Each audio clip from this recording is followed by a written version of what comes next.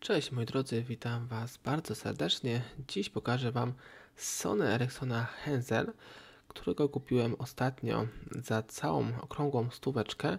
Spójrzcie jaki piękny stan, no praktycznie jak nowy. W bardzo pięknym stanie cała budowa się jeszcze zachowała.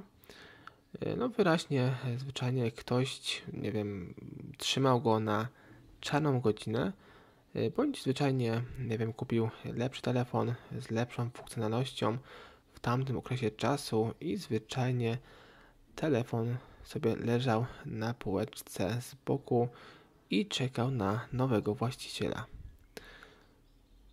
I jestem zwyczajnie szczęśliwym posiadaczem tego Sony.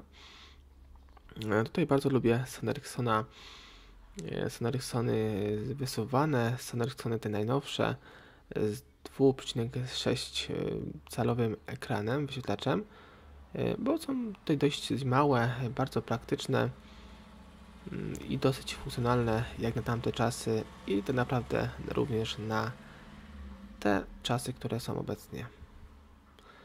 Telefon tutaj pochodzi z 2000 bodajże na przełomie 2010-2011 roku i naprawdę się bardzo pięknie prezentuje.